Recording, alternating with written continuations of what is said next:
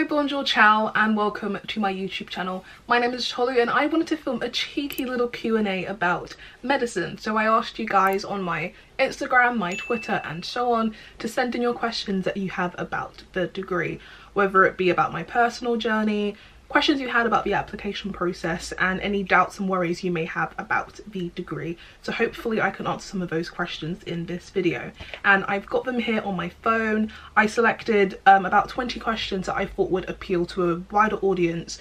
Um, so hopefully in this video you've got some extra tips and um, tricks that you guys could use for your own applications um, and just to help you along your journey if you're looking into studying medicine and if not hopefully you just find this video fun and interesting to watch because there could be some things that may apply to you even if you aren't interested in studying medicine. So here goes. Question one is what is the best and worst thing about studying medicine?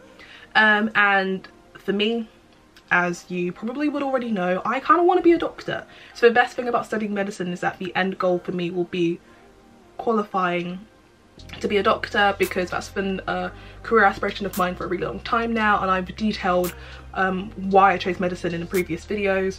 But generally it just allows me to develop a greater appreciation for the human body um, and use um, that knowledge and skill to help other people which is what I think is amazing.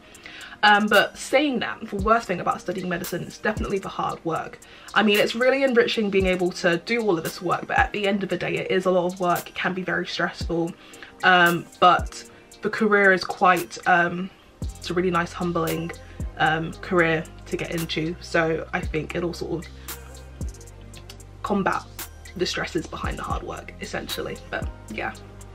Um, the next question is, what are the things that could make a person reconsider applying to medicine? It's like with the first question, definitely the amount of work that you have to do. Um, medicine is a forever developing subject, so even if you were to complete the first five, six years of a medicine degree, there are still more courses that you can do. There are still new techniques being developed, so it's a never ending educational journey, I guess. So if you're not one for school or like learning all the time then it may not be for you because you always have to develop and you always have to keep reading when it comes to medicine because there's always something new and always something that you can look into and read into to develop your um, skill set.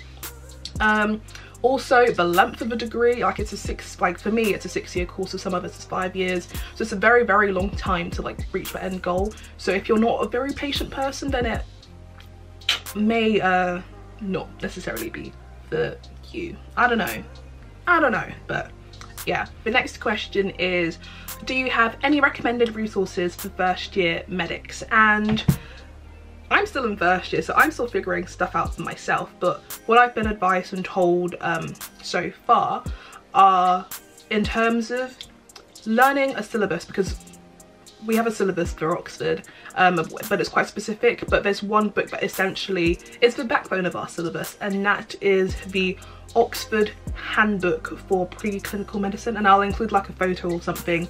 Hi guys, Editing Tolu here. Here is the book I am talking about. It is the Oxford Handbook of Medical Sciences, so yeah. I don't know where my book is, it's probably downstairs. I ended up finding the book on my chest of drawers. So much for great searching, Tolu. but that book, when it comes to learning first year content, at least for Oxford, has been a lifesaver. It's, oh, it's basically like a nice little summary of the content that we need to know in a handheld format. And it's quite blasphemous but a lot of people coin it the bible because it contains essentially all the information that you need to know for us to pass first year so that's been really handy and even if you aren't on the Oxford course it's still very much applicable to whatever medicine degree that you take because it includes so much information and it's really really handy um, in terms of learning anatomy, for me, I found anatomy flashcards to be really useful. So I know the best two are the Netters anatomy flashcards and the Gray's um, anatomy flashcards. Oh, don't mind me. I'm just modelling my Netters flashcards.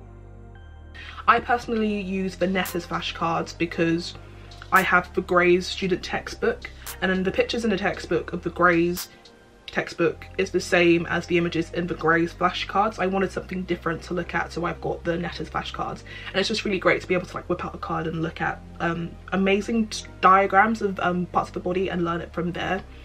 Um, and also to help me learn anatomy I um, watch videos by this amazing guy called Acland so if you just type in Acland and anatomy you'll come up with his videos and it's really really handy for learning um, anatomy but I think in terms of resources those are the main ones like that you could use as a foundation but they're really really handy to have. Next question is do you have any tips for the BMAT or the UCAT? Um, so I'm gonna post like I'm gonna make a more detailed video on these topics in the future like I've got a plan for um, what I want to post but in the meantime in terms of preparing for the BMAT and the UCAT definitely don't use up the resources online too quickly. So i started practicing for my both of those exams about a month before the date of them. Um, because sometimes i feel like when you practice for so long for something you kind of you may hit your peak too early when it comes to um, getting used to how the techniques are so I say a month is about a good time to start practicing it because then your peak should hopefully be about when your exam is about to be in. Um, do you have any good books to read? So in my last video, I detailed um, what you could be doing with your application despite work experience being cancelled and I mentioned quite a few books in that video but the books that I read a lot personally um, was The Man Who Mistook His Wife for a Hat because it's a book based off of neuroscience and that is the specialty I want to go into. When Breath Becomes Air is an amazing novel, made me cry and it's a really really good read. The Immortal Life of Henrietta Lacks, Confessions of the GP, um, How We Live and How We Die, they're all pretty amazing and there are some really cool reading lists that you can find online too I recommend looking at the Oxford Medicine reading list. So they have reading lists for almost all of their subjects and they have a, a bunch of really handy books that you guys can read from their website to give you some ideas too. But the books that I've mentioned just now are really handy and they're ones that I personally read myself. What advice would you give to an aspiring medic? I would say definitely keep focused on the end goal. Because the degree is so long and it's so strenuous sometimes trying to get into the degree it kind of it like there are times when you could potentially lose motivation because you're doing all this work and it's stressful and it's tiring. But honestly having your end goal in mind all the time will be very very helpful so for me in my room, I have a sketch of a brain covered in flowers because my end goal is to hopefully become a neuroscientist, neurologist, I don't know the right term for it, but just something to do with brains. So I've got it in my room for when I work so that in case I ever feel low or just like down in the dumps, I can look at it and be like, okay, I know what I'm working towards. I can only get to that stage if I keep working. So I kind of use it to help motivate me to continue doing my work um, and also try and get in touch with people who've already done the application process and who've already done the degree because listening to tips from older people it can be really really helpful because they all know things that you don't which is why like I, like I created this channel to give you guys insights into what you should shouldn't do etc um, so if you know anyone else um, like in the year above who's done it or if you know like any doctors or like whatever um, definitely try and reach out to some people to give you some extra advice uh, that you could use for your journey into medicine.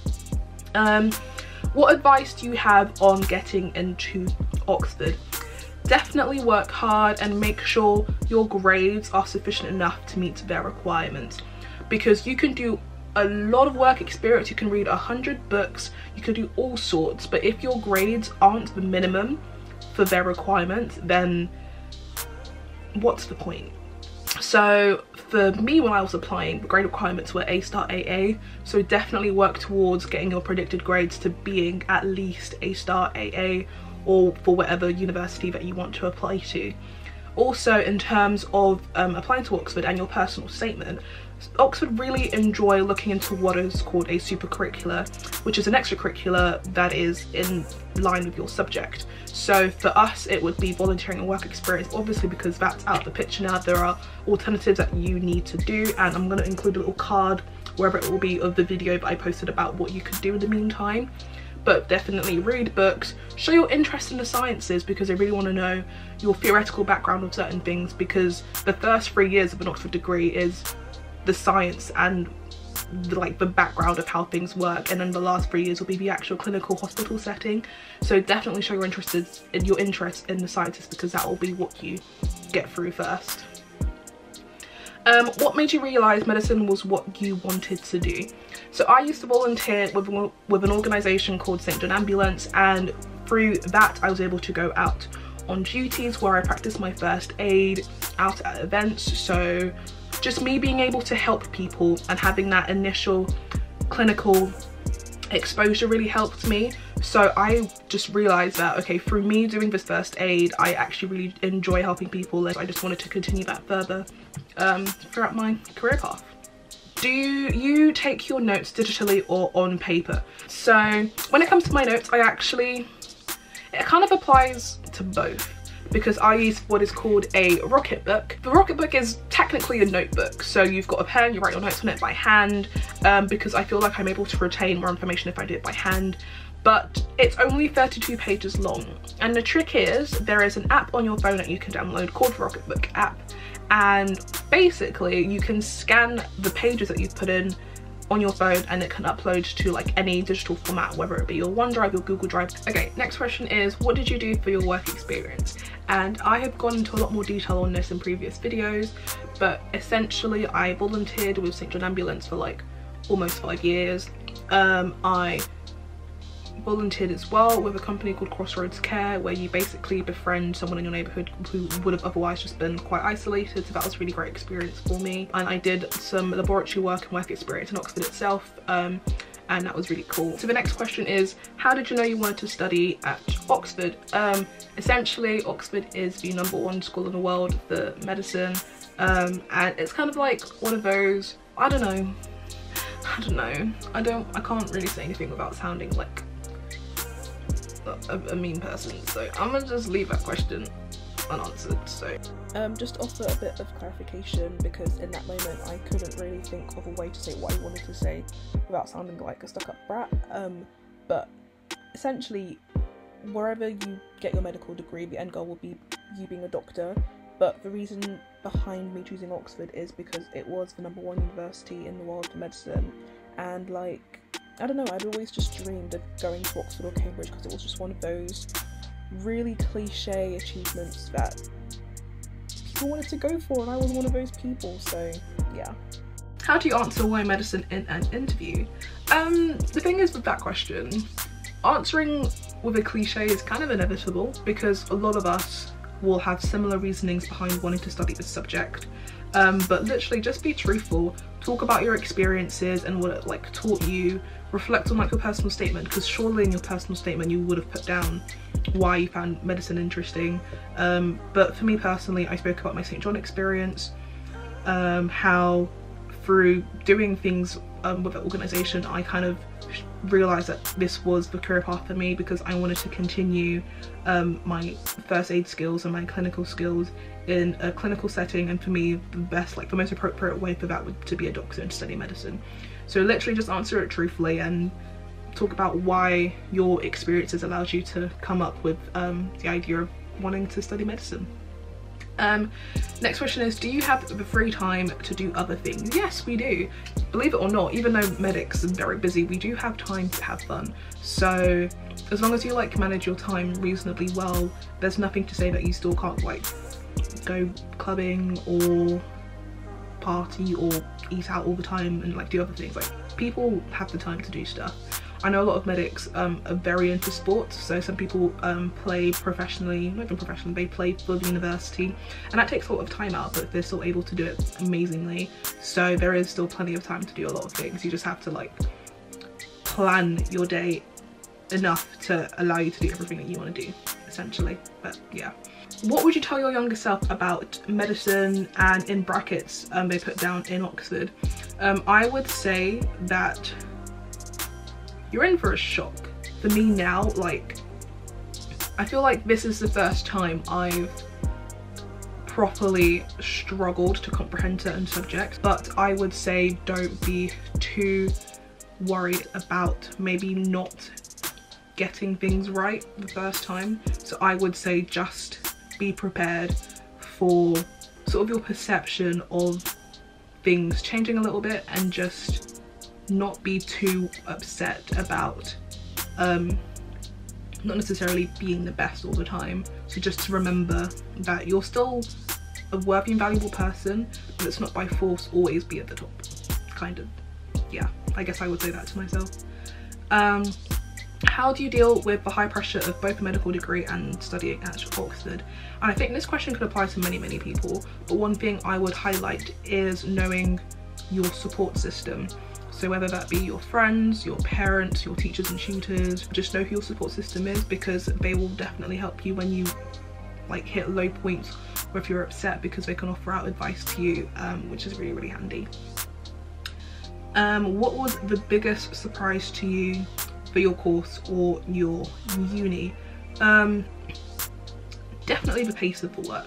Like I knew I'd get a lot of work, but I didn't know how fast things would be taught to us.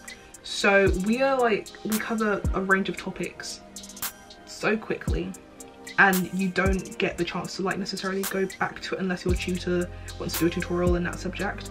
So for me it was just definitely the pace of everything. Um, my voice is going. but now I've sort of adjusted um, to it so it's not as bad anymore but definitely the pace of everything within the degree. Um, what area do you want to specialize in? Neurology, neuroscience, brain stuff, because I think the brain's really cool. What is the hardest part about the application? Um, I would say the personal statement.